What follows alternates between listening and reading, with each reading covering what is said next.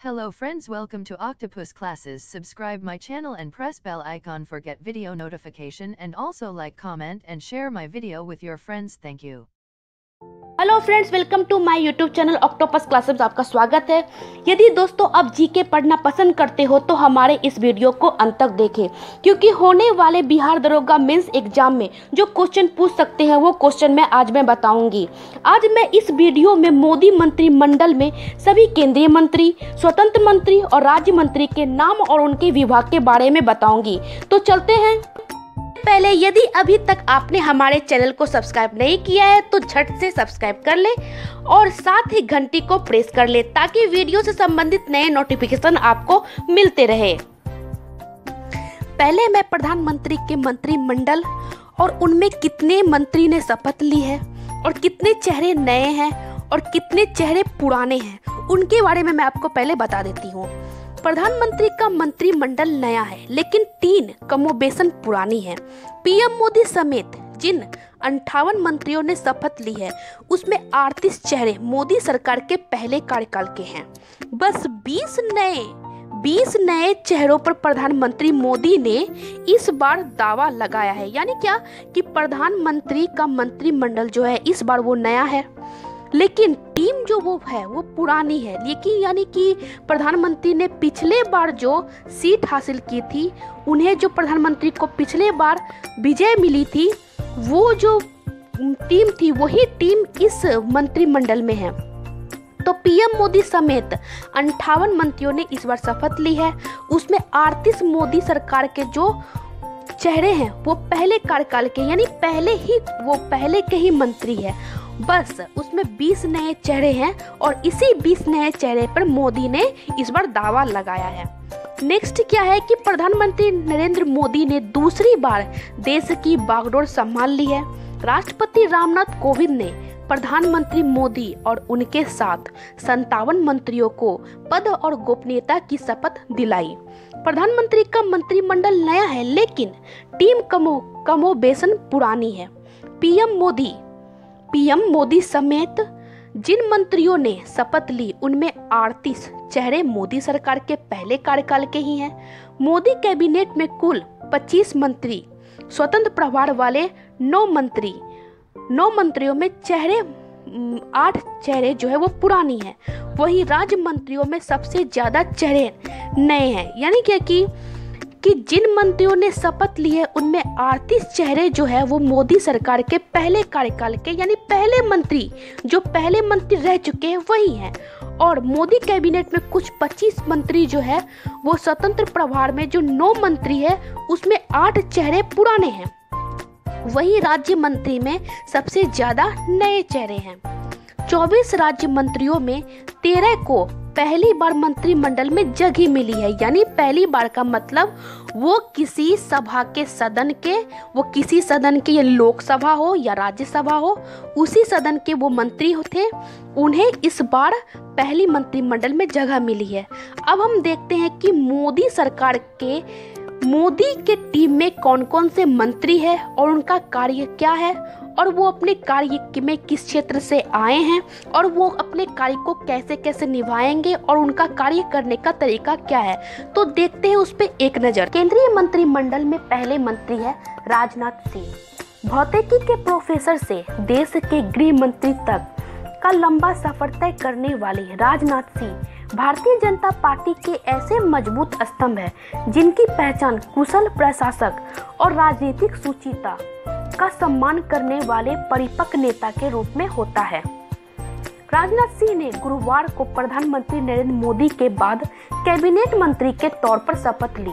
वह इससे पहले मोदी सरकार के पहले कार्यकाल में गृह मंत्री थे।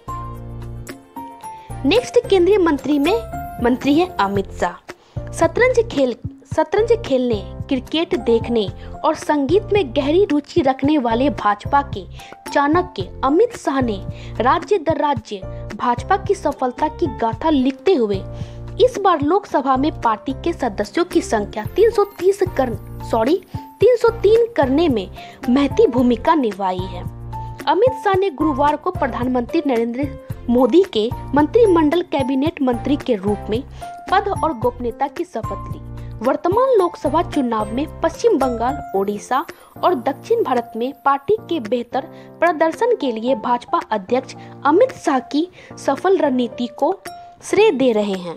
राजनीतिक विश्लेषण सॉरी राज, राजनीतिक विश्लेषक मानते हैं कि विचारधारा की दृष्टता असीमित कल्पनाशीलता और वास्तविक राज, राजनीतिक लचीलेपन का शानदार समन्वय कर शाह कर अमित शाह ने चुनावी समर में भाजपा की शानदार जीत का मार्ग प्रशस्त किया है नेक्स्ट हमारे केंद्रीय मंत्री नितिन गडकरी प्रधानमंत्री नरेंद्र मोदी की पिछली सरकार में सबसे ज़्यादा कर्मठ मंत्री की पहचान बनाने वाले नितिन गडकरी एक बार फिर मोदी सरकार में मंत्री हैं।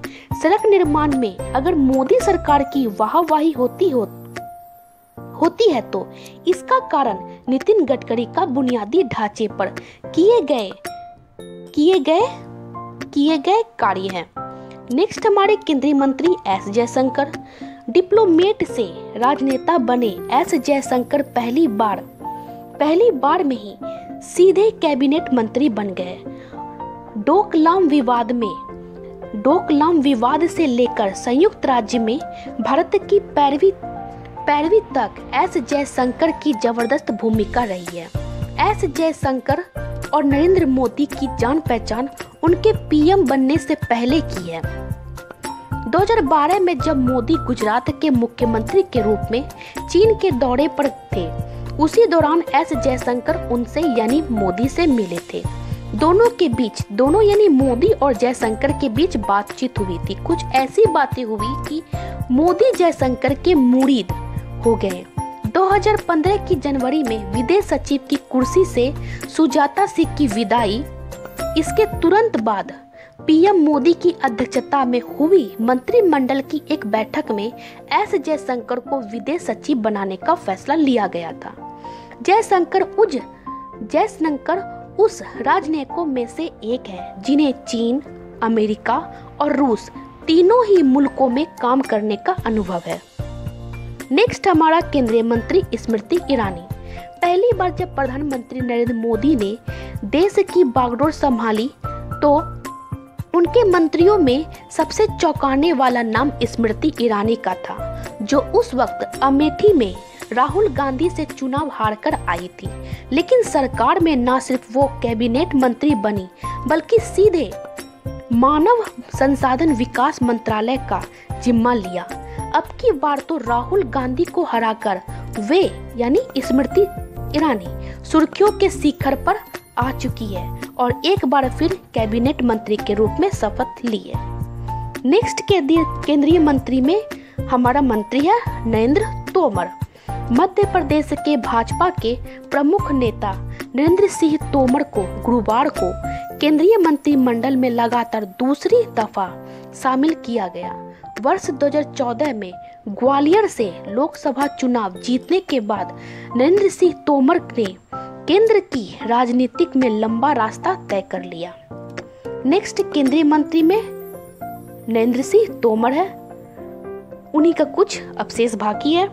वर्ष 2014 में वह ग्वालियर लोकसभा सीट में सांसद बने और केंद्र सरकार में कैबिनेट स्तर के मंत्री बनाए गए। उन्होंने कैबिनेट मंत्री के तौर पर खनन, इस्पात, श्रम, रोज़गार और ग्रामीण विकास और पंचायत राज जैसे मंत्रालयों का दायित्व संभाला।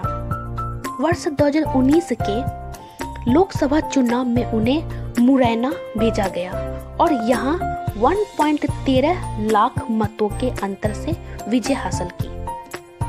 नेक्स्ट हमारा केंद्रीय मंत्री में रवि रवि शंकर प्रसाद। पिछली बार जब रवि शंकर प्रसाद कानून मंत्री बने तो वे राज्यसभा के सांसद थे। लेकिन इस बार पटना साहिब में शत्रुघ्न सिन्हा को खामोश करके जैसी जीत हासिल की उसके बाद उनका मंत्री बनना तय माना जा रहा था। और वही हुआ। रविशंकर प्रसाद ने मोदी सरकार के पहले कार्यकाल में 26 मई 2014 को सन, संचार और सूचना प्रौद्योगिकी मंत्री के रूप में नियुक्त होने के बाद से भारत के दूरसंचार क्षेत्र को पुनर्जीवित करने में अहम अहम भूमिका निभाई है। नेक्स्ट हमारा Piyush Goyal.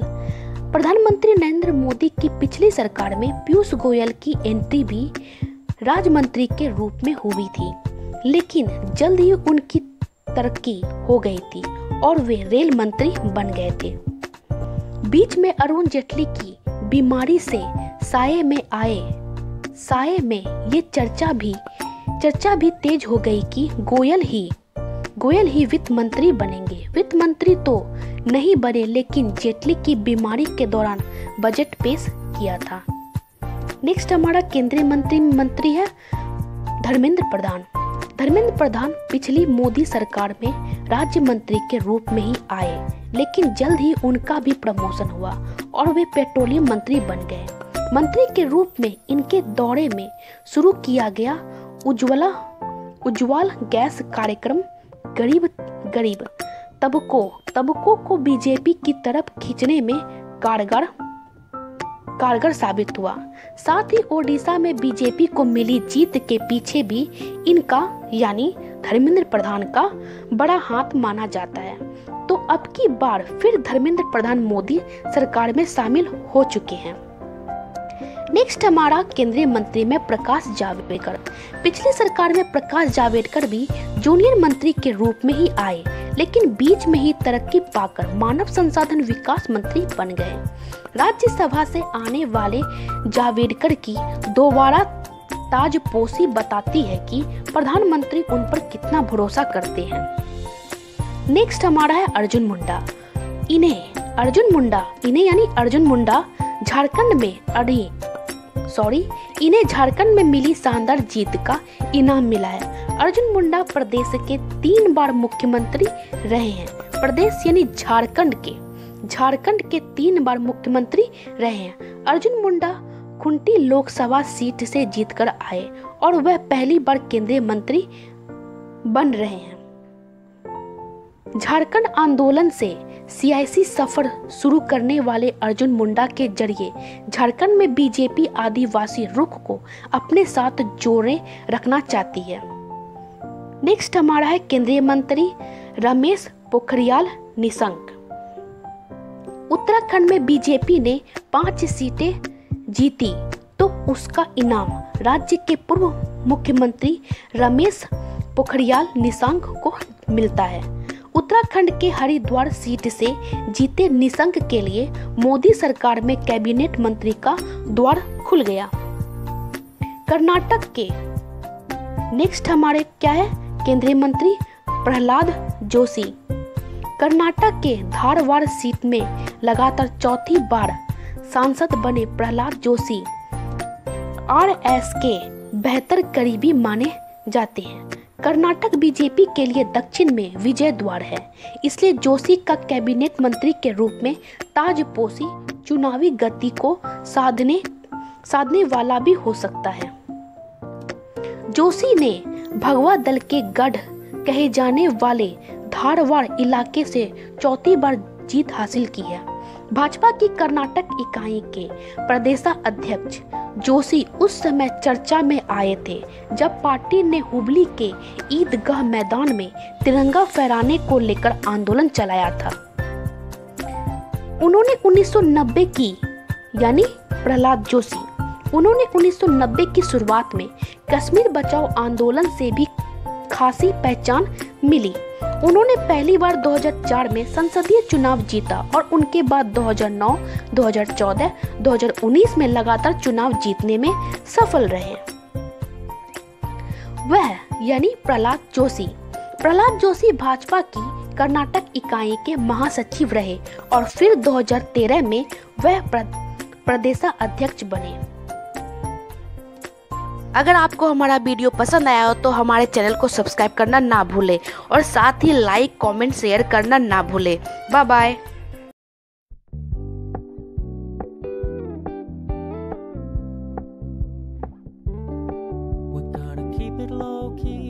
softly spoken with no strings tying you to me. I'm happy in your company with no emotion, cause my love deserves to be free.